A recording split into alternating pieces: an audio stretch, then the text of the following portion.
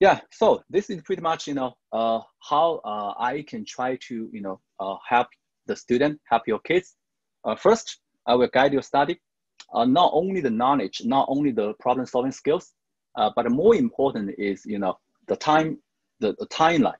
So for example, this is very specific. For example, you are a sophomore, I will give you a kind of a slight different way compared to if you are a junior, right? And what is the right time to do the right thing? Uh, definitely, if you are a junior, it will be save you a lot of time. Uh, so I know a lot of students, they are kind of very independent students. They did a lot of research, you know, in Google, in different platforms, different forums, right? And they finally, they are kind of an expert in competition. But I really do not think this is something they should do. They should focus on, you know, preparing the competition and not, rather than, you know, taking the time to find what is the best textbook, what is, you know, some good problems to practice at this moment, what is, you know, the, the problems they need to do in the next stage. So this is something the teacher, the coach should finish. So, and next, chemistry competition definitely can be studied, you know, by the student themselves. But typically, if they read the books, their understanding is not so deep. You need to have someone to help you deepen your understanding. And as I mentioned, you know, the grading is very important. You finish the problem set, right? You, you did a mock test, you need to have someone to check your, your stuff, to grade your stuff, to let you know what are the details you need to pay attention. So I can also help you to analyze your strengths and I think many weakness, right? Uh, this is how you improve yourselves. And uh, if if students are from my website, so probably you already saw a lot of you know uh, I think very useful resources from my website, like uh, the YouTube videos, and you probably know I'm an expert in descriptive chemistry and organic chemistry. So I definitely can help you the most uh, in preparing, you know, the most challenging part in the in the exam. Yeah, so basically, you know, uh, this is a very brief introduction of my uh, online class. It will start from uh, the coming Sunday, uh, 8 to 10 p.m. Eastern time. So I'm expecting students to have a strong, a solid background in algebra and at least one year of honors chem or equivalence. Uh, if you kind of self-studied in honors chem, it, sh it should be okay. But if you are taking AP Chem right now, or you took it last year, it will be even better. Uh, it, it will not be kind of overqualified. No, no. So different level of student can get different, you know, uh, in a different way to, from my my class. You, if you have a stronger background, you probably will gain more. Uh, but that doesn't mean if you do not have a, a kind of, if you only have one year of honors chem, it should be a kind of a good entry level. Uh, so it will cover all of the 10 topics in both local and the national exam. Uh, yeah, this is very important. Uh, in the past two years, I organized, you know, the spring camp to help the students to prepare the national exam. So based on their feedback, they all mentioned, wow, I learned a lot. You know, I never learned, you know, chemistry in such an in-depth way.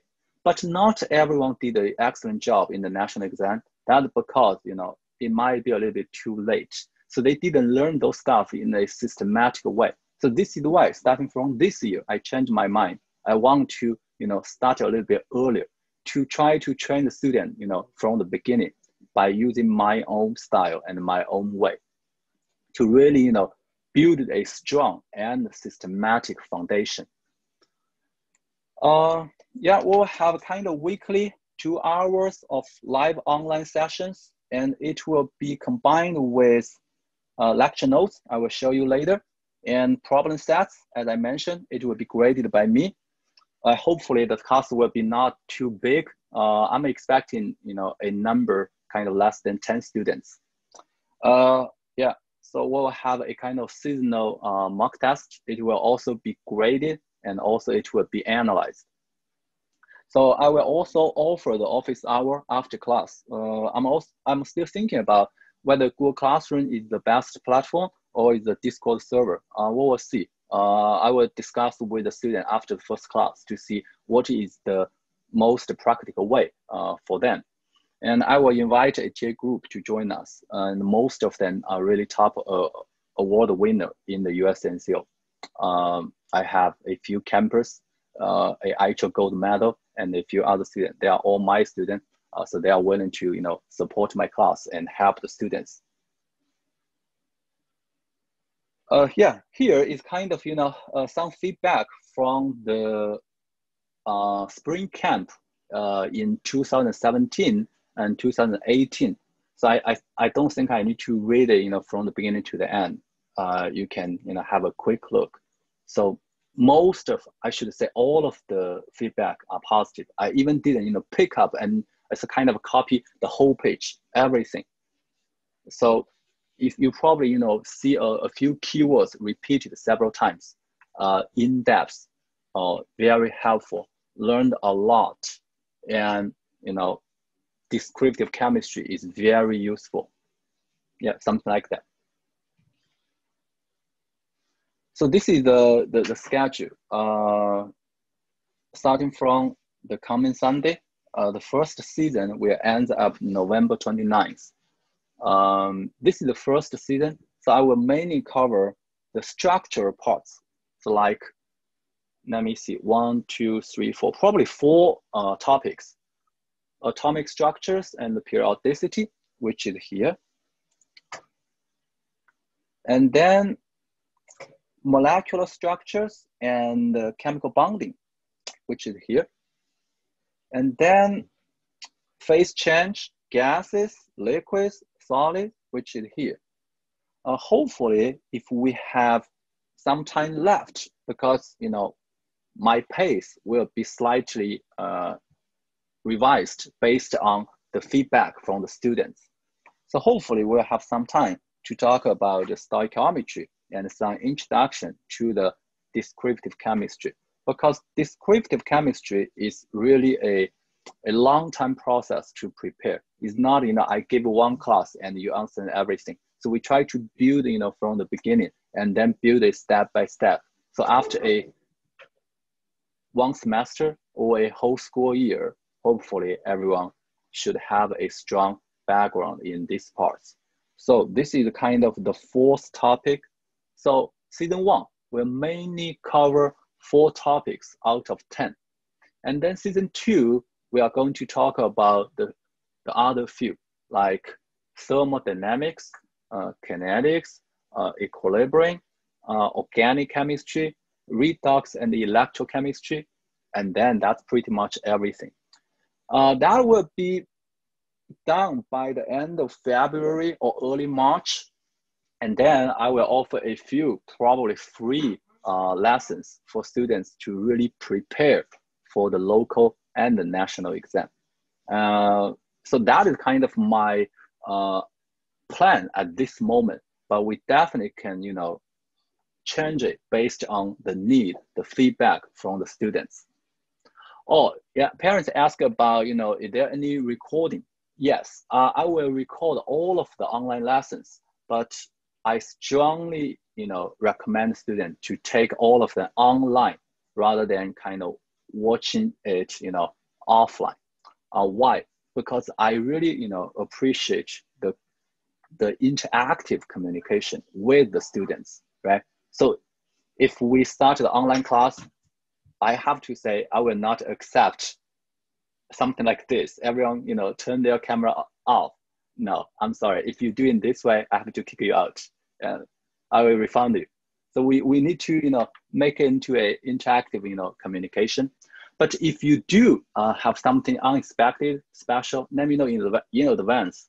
Uh, and uh, I accept, you know, up to three kind of recorded lessons, so which means you can request up to three, you know, lessons. I, I think it's kind of fair number. So if this time really doesn't work for you, either we can, you know, further discuss what the best time, but probably it's very hard, or maybe this is not the, the, the right class for you at this moment. So yeah, this is a, I, I can call it a four-year course, but you know, we start from September. We pretty much will end at late April because late April is the national competition, which is pretty much the ending for most students in this school year, right? Because after April, only 20 students will have we will have to work for the next step. So that is is not you know the majority of the, the student group. Uh, unfortunately, I do not, you know, I do not have the time to offer the honors chem or AP chem. So if you have at least one year of preparation, this should be a, a good level for you. Oh, by the way, yeah, I want to briefly show you my lecture notes.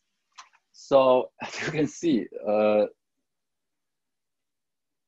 I just want to, you know, briefly show you this is kind of the results of at least five years of accumulation in my school uh, when I kind of coach the camp team. So we, I kind of revise this lecture notes every year.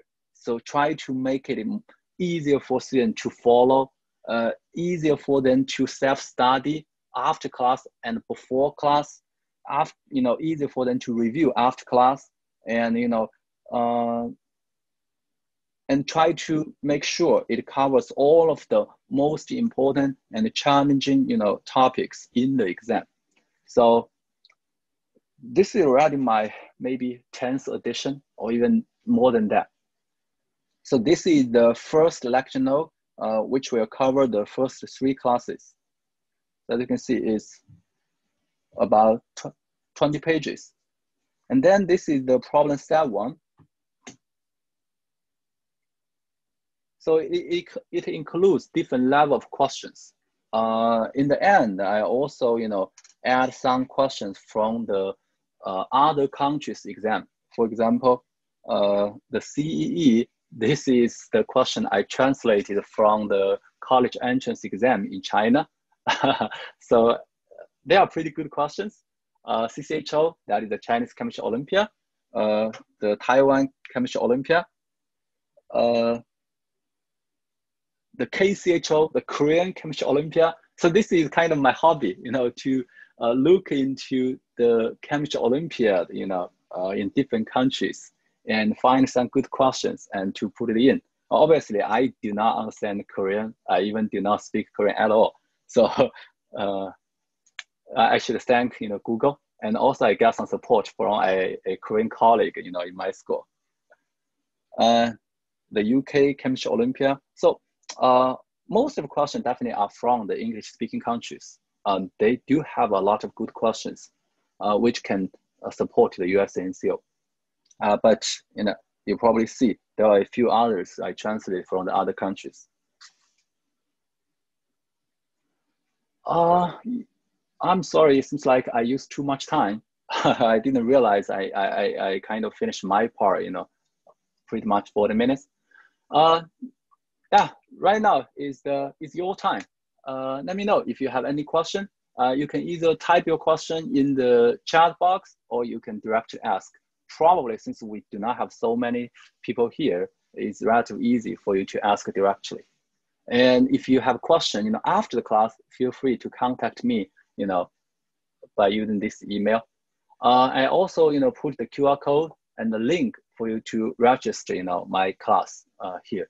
So you can use your cell phone to scan the QR code and quickly, you know, finish a survey. And then Alex and I will, you know, further contact you.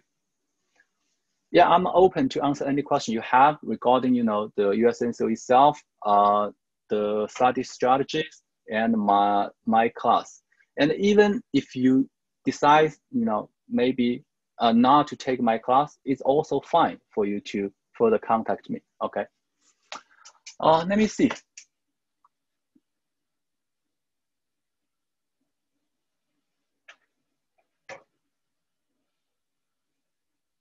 Okay, I got a question. Kind of how much time student need to uh, input for each problem set? Uh, let me briefly show you. So there are in total around kind of 10 to 15 uh, written questions in total for each problem sets. So this is the work need to be done for three weeks. So I would like to expect kind of one to two hours each week, including the time to finish the problem set and also the time to review, you know, the lecture notes. Uh, probably it also requires some time for students to read the book. So, you know, the time question is really, it really varies because different students have different style. They have different you know, uh, uh, learning you know, uh, strategy. So I cannot really give you a universal answer, but from my perspective, after taking the online class, averagely two hours per week should be expected for you to, you know, uh, be prepared for the local and the national Power 1. Uh, but if you have more time, definitely, uh, I, I would like to see, you know, you can put more time here, but, you know, considering the total time is limited, I think two hours is kind of fair and number. Uh, let me have a look at the other questions.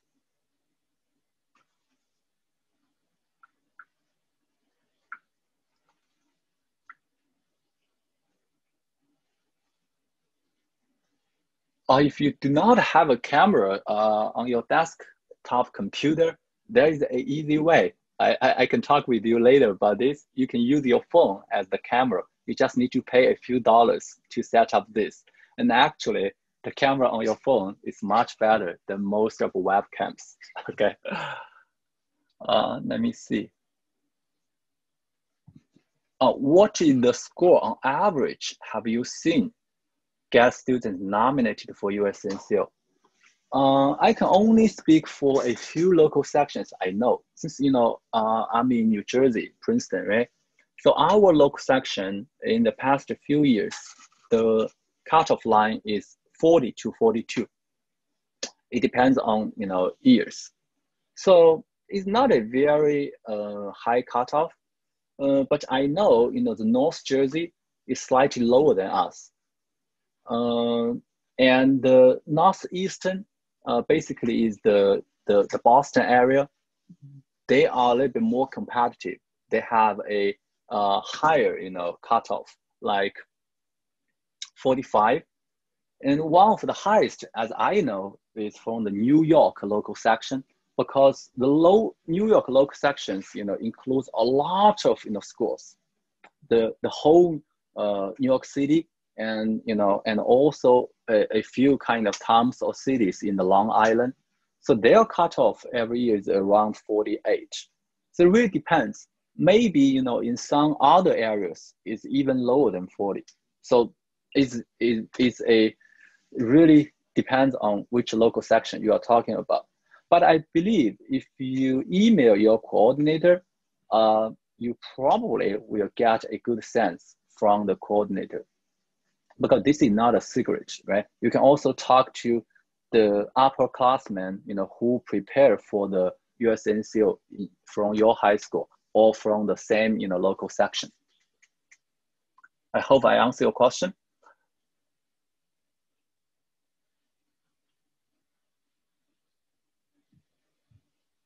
Okay, uh, there's another question uh, if there's only one participant in the USNCO from the school, does the student automatically get into the national level? Um, probably not. I, I think you need to kind of, you know, uh, be higher than the cutoff, and then you will qualify for the national exam.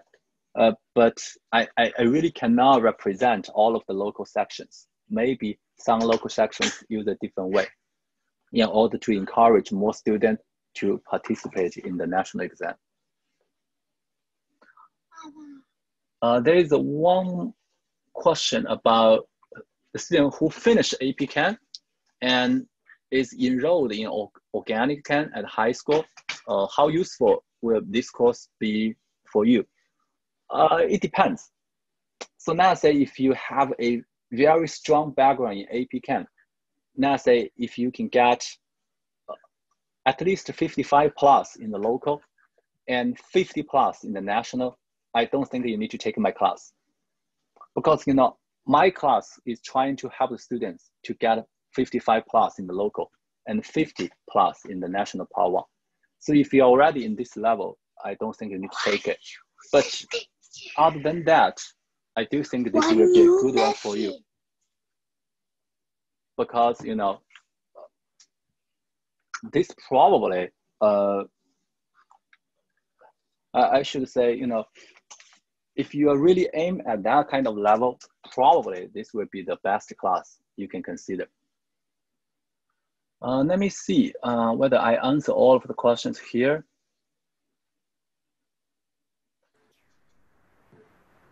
Oh, the price. Uh, the price uh, is nine hundred dollars uh, for everything for in the season one. Uh, ten uh, online sessions, the graded problem sets, and also the mock test and the test analysis. Uh, so definitely the info session today is completely free.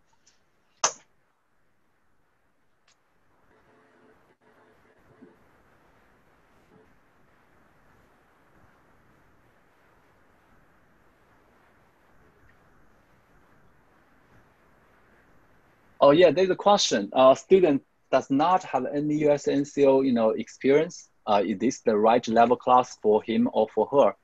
Uh, the simple answer is yes, but probably uh, if you now say have a relatively limited background in chemistry, you might need to put a little bit more time, you know, during the process. But the, the good thing is our class is kind of weekly based, so which means students should have enough time to review the lecture notes, you know, after each class. So I will actually, I have a kind of reading assignment in the beginning of each uh, lecture notes. Let me quickly find my stuff. So, which is here. So I, I kind of refer to textbook, which are the most common used one. The Zumdahl, the ninth edition or the 10th edition, it doesn't matter. Uh, if uh, I can show you the cover of textbook later and all the Atkins. So these two textbook, you know, uh, I think they are both pretty good. Uh, if you have only one year of chemistry background, I will recommend you to use the Zumdahl, which is relatively easy to, to read, easy to understand. But if you already kind of took AP Chem before, I will recommend you to go a little bit further, you know, use the Atkins. So my lecture notes, you know, combine a lot of different stuff from different textbooks, but I mainly refer to these two textbooks. Uh, let me see.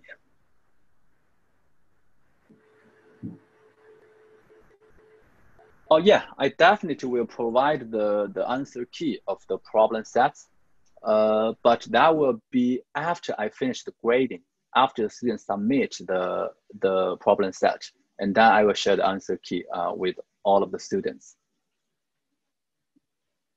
Let me see, did I miss any more questions?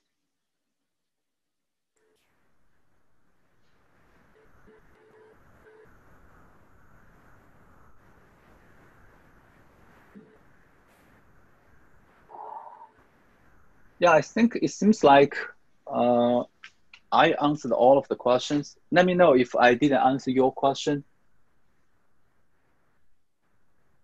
Hello, Dr. Shen, can you hear me? Yes. Yes, go um, ahead. Hi, th thank you for the information. Uh, my no question problem. is, and my question is, um, there are a lot of uh, previous years um, local exam, or maybe national exam. How Mm -hmm. important to, to do some practice on on those exams questions? Oh, definitely. Definitely, they are very important because they are the best, you know, uh, prep materials but typically, I will not include any question from the local or national in my problem set because my problem set is something extra, right? They can easily, freely get those materials by themselves and choose any time to work on that. Um, the best time zone for me to recommend students to work on those questions definitely is after January if the student is the first year to prepare, you know, the, the test. So so my suggestion is they finish the learning of most of the contents, and then they can start to work on that. So take the student in my camp team, for example. Uh, typically, I do not ask them to, you know, work on those questions before uh, January. So we will use the time from September to January to try to finish most of the stuff, at least, you know, one, uh, one time of systematic learning. And then they can now say, finish one test every day or, or several tests per week, right? And, you know, most of the test paper are not so useful for students to prepare the recent years of exam because the test start to get harder from 2015. So if student have limited time, we only to work on the test paper from 2015 to 2020, which means six years of local exam paper and national part one national part two. So basically less than 20 test papers in total. But if students have more time and they want to try more, they definitely can go back. But typically they will feel, wow, those tests are so easy after they practice the recent few years. Okay. Yeah. So basically, uh, your, your class up to January, you will finish most of the 10 topics? Uh, I think so. Probably we will have organic left. Okay. Because organic is really a big part. Uh, you know, in college, we use one full year to teach organic chemistry, right? So right now we need to squeeze, you know, the organic chemistry into a few weeks. Definitely, it's very hard. Uh, we don't need to talk all of them, but say if a student is kind of targeting for the top 20, I should say the whole textbook, the whole four year of organic chemistry should be studied.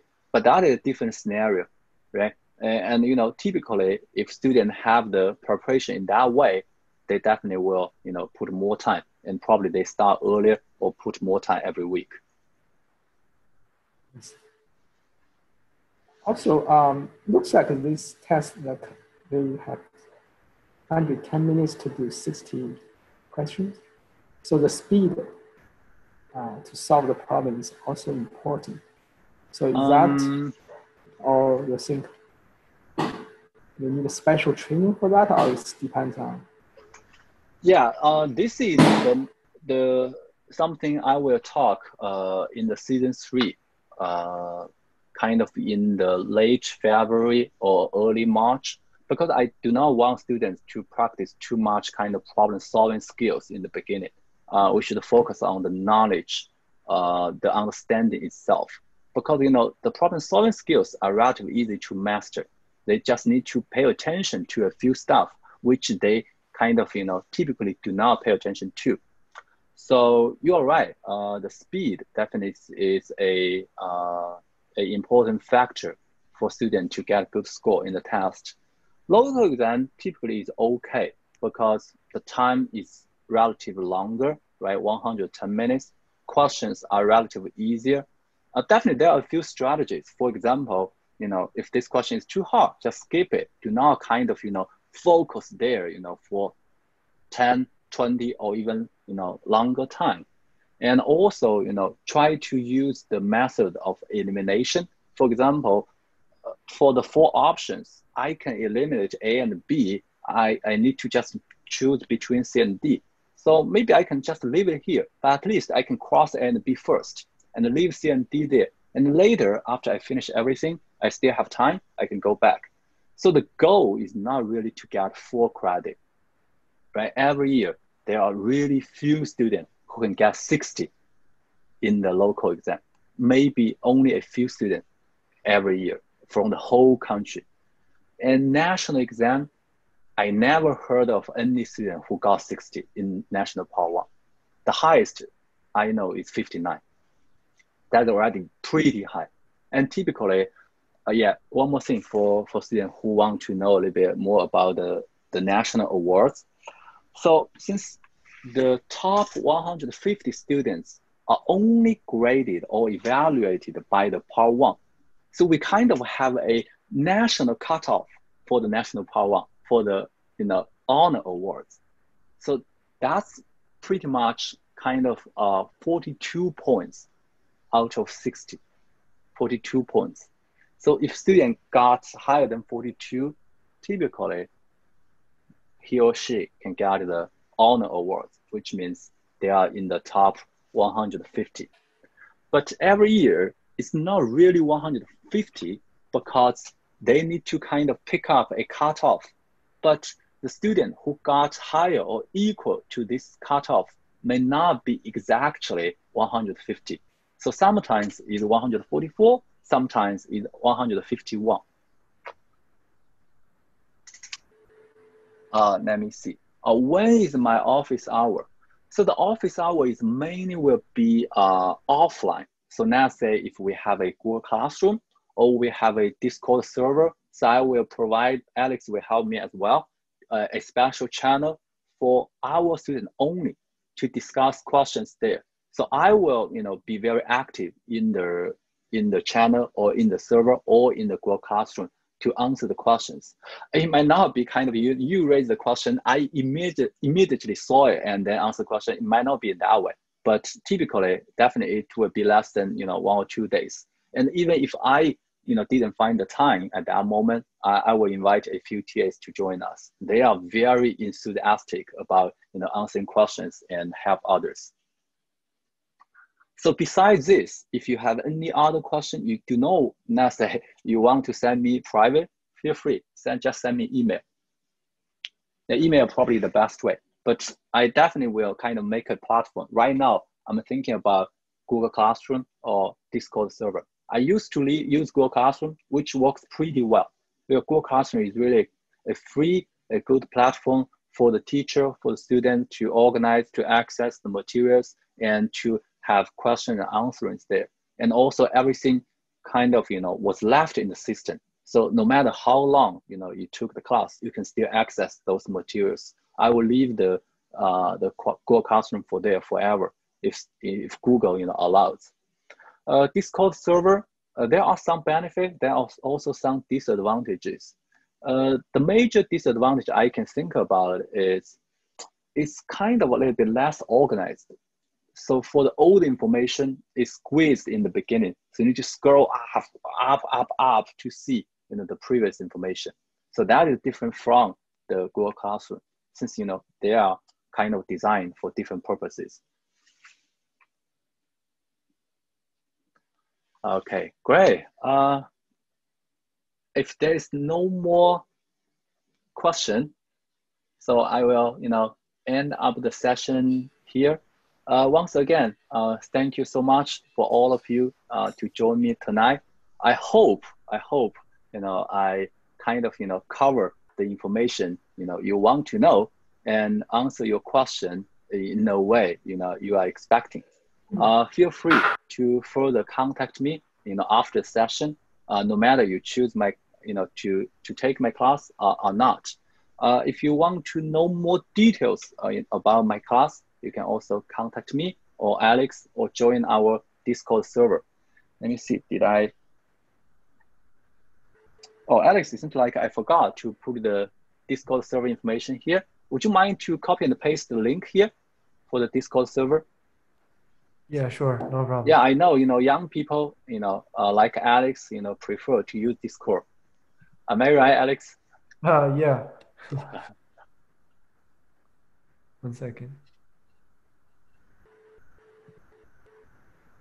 Okay, thank you. Uh, feel free to leave. Uh, if you, you already know the Discord, if you, you don't know and you would like to know, uh, just you know stay there for a few seconds and Alex will find it and share with you. Oh, by the way, Alex, would you mind to stay here for a few minutes? Oh yeah, sure. Uh -huh.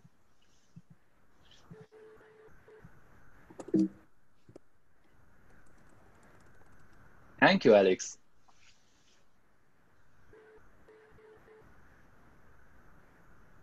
Oh, you sent to me privately. Ah, I see. Okay, let me copy it. Let me copy it and share with everyone. So as you can see, the limitation for Zoom is, you know, the, the chat, if you do not copy and paste right now, it's gone. right? I can save the, the chat information, but it's not saved in your side, right?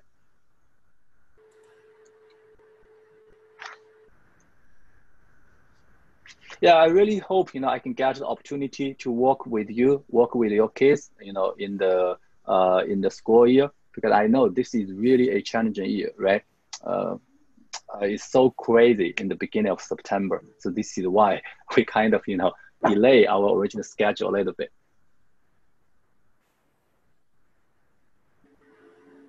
Okay, uh, so everyone, thank you again. Let's stop here. Uh, have a good night. Uh, if you are if you are California, have a good evening. Uh, have a good afternoon. Bye bye, everyone. Thank you, Dr. Chen. Thank No you, problem. Thank you. Thank you.